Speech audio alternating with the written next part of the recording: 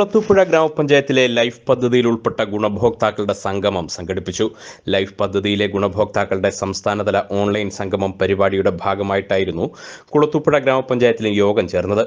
സംസ്ഥാനതലത്തിൽ life മിഷനിലൂടെ പൂർത്തിയാക്കിയ രണ്ടര ലക്ഷം ഭവനങ്ങളുടെ പൂർത്തീകരണ പ്രഖ്യാപനം മുഖ്യമന്ത്രി പിണറായി വിജയൻ ഓൺലൈൻ സംവിധാനത്തിലൂടെ നിർവഹിച്ചതിന് തൊട്ടു പിന്നാലെയാണ് കുളത്തൂപ്പുഴ ഗ്രാമപഞ്ചായത്തിൽ ഗുണഭോക്തൃ സംഗമം സംഘടിപ്പിച്ചത്.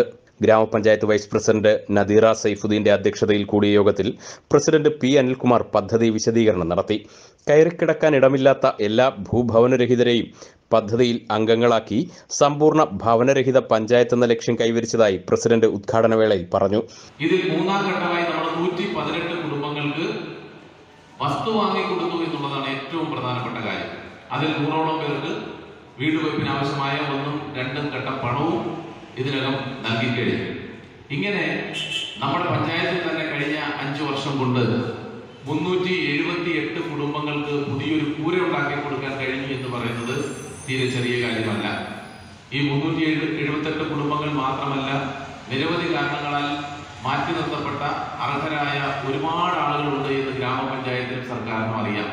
ഇതിന്റെ അടിസ്ഥാനത്തിൽ നമ്മളുടെ ഈ തവണത്തെ തദ്ദേശ സ്വയംഭരണ സ്ഥാപന തെരഞ്ഞെടുപ്പിന് തൊട്ടു മുമ്പേ തന്നെ ഗവൺമെന്റ് മറ്റൊരു നിർദ്ദേശം പറഞ്ഞു.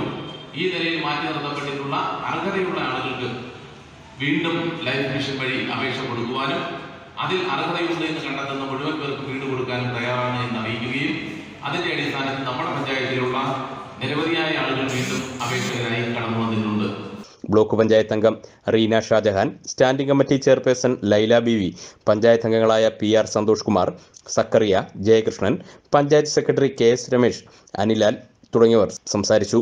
നാട്ടുവാർത്ത കുളത്തൂപ്പുഴ.